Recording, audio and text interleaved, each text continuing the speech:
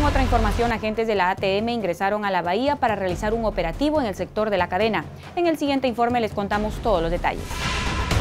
Amigos de Alerta Roja, nos encontramos aquí en el eh, Amigos de Alerta Roja, nos encontramos acá en el malecón, en, los alrededores de la bahía.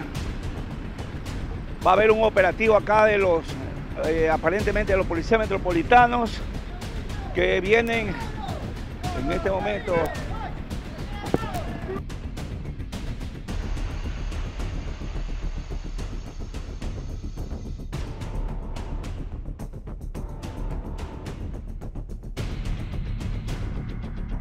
Ahí está el letrero de José Delgado que dice prohibido parquear moto. Aquí la gente hace lo que le da la gana. Por eso está la ordenanza municipal ahí. Ya están los señores de la ATM y los señores del municipio para que pongan orden aquí. Ñaño, ¿de quién son las motos?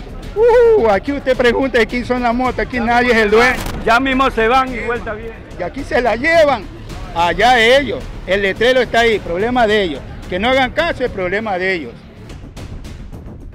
A ver, caballero, buenos días. ¿Usted es propietario de la moto? Ahí está el letrero, pues se prohibido parquear moto. ¿Y usted por qué parquear moto aquí? Unos exámenes ahí. Ay, aquí es prohibido, aquí está el, aquí está la, lo está el seguro. ¿Te había fijado en el letrero?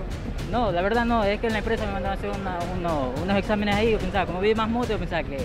Nosotros los comerciantes aquí en la vía dejamos esto para el seguro social. La moto es prohibido, aquí está el letrero. Sino que estos son pacientes que vienen al seguro y parquean aquí, con el cuento de que es, es del seguro. Este es espacio del seguro para ambulancia.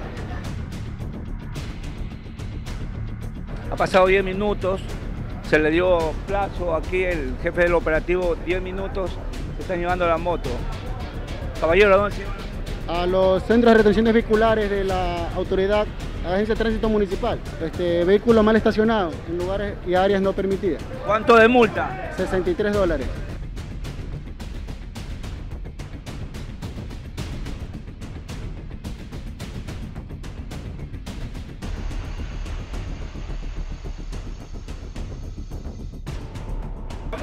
Todos los días estacionan esas motos, desde las 8 de la mañana en las estaciones.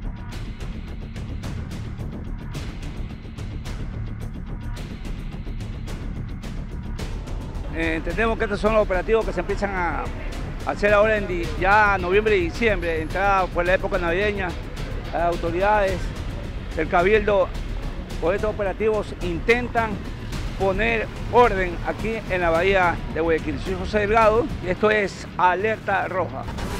Aquí hacemos un corte, amigos televidentes, pero sigan en nuestra sintonía. Al volver les tenemos un resumen completo con aquellos hechos que generaron alertas de todo tipo en diferentes puntos del país.